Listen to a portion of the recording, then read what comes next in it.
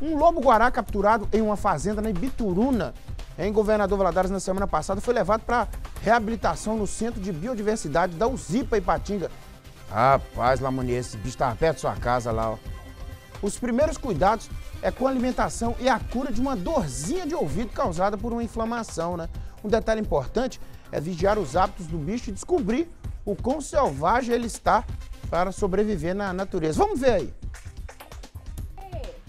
O lobo-guará é macho e tem aproximadamente um ano de idade. Recebeu o apelido carinhoso de Bituruna após ser resgatado em Governador Valadares há cerca de um mês.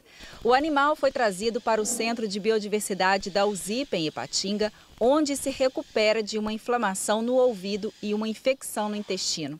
Enquanto permanece no viveiro de quarentena, ele é medicado, passa por exames e tem uma alimentação adequada para a recuperação.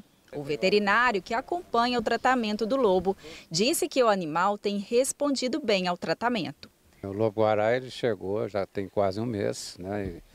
já apresenta condições melhores, mas ele chegou com muitos problemas, muito magro, com muita com algumas deficiências, né, com algumas, alguns parasitas e o pior, com uma infecção no ouvido direito e que está sendo tratado até hoje ainda, né? Mas já vai recuperando, né? Os exames laboratoriais, eles dão é, alguns resultados positivos, né? Ele não tem algumas doenças que são comuns, que são perigosas, que podem ser inclusive zoonoses, né? no caso da leishmania, por exemplo, exame deu negativo. Enfim, todo esse tratamento está sendo acompanhado por uma equipe.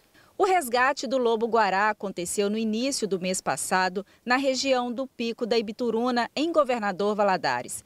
Moradores viram o animal que estava muito debilitado e desorientado. Ele foi resgatado por uma equipe do IEF, Instituto Estadual de Floresta, que inicialmente levou o lobo para uma clínica veterinária. Depois, ele foi trazido para Ipatinga, onde passou a receber um tratamento adequado. O Ibituruna fica aqui neste ambiente. O pouco contato que ele tem com os humanos é necessário para preparar o lobo no momento de soltura. Ele não pode perder o instinto de caça dele, né? não pode criar uma dependência com o ser humano, porque senão ele vai procurar uma fazenda, alguma, algum contato. Né? E por enquanto ele está estranhando todo mundo, né? mantendo os hábitos noturnos desse, dele e a gente respeita muito isso, né? A gente, tanto que esse animal não é, não está aberto à visitação. E com o tempo certo, né? O mínimo possível para que esse animal não acostume a receber alimentação. Né? Toda a alimentação, que a maioria da, dos alimentos são vivos, né? e também com frutas. Né? Um animal que se alimenta de frutas e roedores. O lobo-guará é um canídeo, pode chegar até um metro de altura e se destaca por ter as pernas longas e finas e pela coloração dos pelos em laranja avermelhado. Por estar em extinção, em 2020, o lobo-guará passou a estampar a nota de 200 reais, que raramente é vista pelos brasileiros.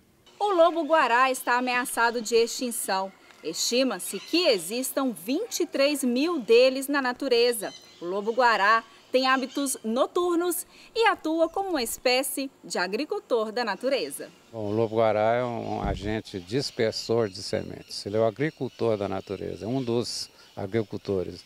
Na medida que ele come frutas, né, ele vai espalhando ao longo da, das suas caminhadas noturnas né, as sementes através das fezes e com isso ele faz um replantio natural. Antes de ser devolvido à natureza, o lobo-guará ainda será submetido a uma série de avaliações comportamentais para determinar a habilidade dele para a soltura. Ele está expandindo a sua área, né, muito em função do desmatamento, é um animal do cerrado, e nós estamos aqui em região de Mata Atlântica, né, então ele tem expandido e tem, a gente tem encontrado muitos lobos na região. É, aumentou demais o número, e principalmente em função de atropelamento, né? então os, os, animais chegam aqui muito traumatizados, alguns em coma, nem todos têm o sucesso de recuperar. Sensacional, a Gisele caprichou no texto ali, ó. Lobo Guará que estampa a cédula de 200 reais, raramente vista pelo povo brasileiro. ah, eu só peguei um ano no dia que lançou aqui. Foi cinematográfica, como dizia o Edinho, seu pai.